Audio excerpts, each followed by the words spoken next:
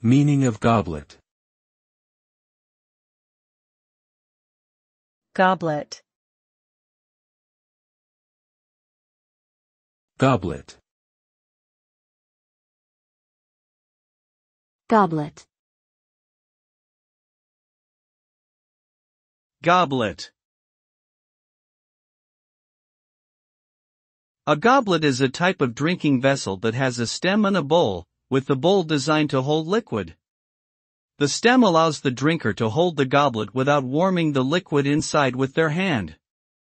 Goblets are often made of materials such as glass, crystal, silver, or gold, and can be decorated with intricate designs. In medieval times, goblets were often used by aristocrats during feasts, and some were even adorned with precious stones. Today, goblets can be found in various sizes and styles, and are commonly used for special occasions such as weddings or formal dinners.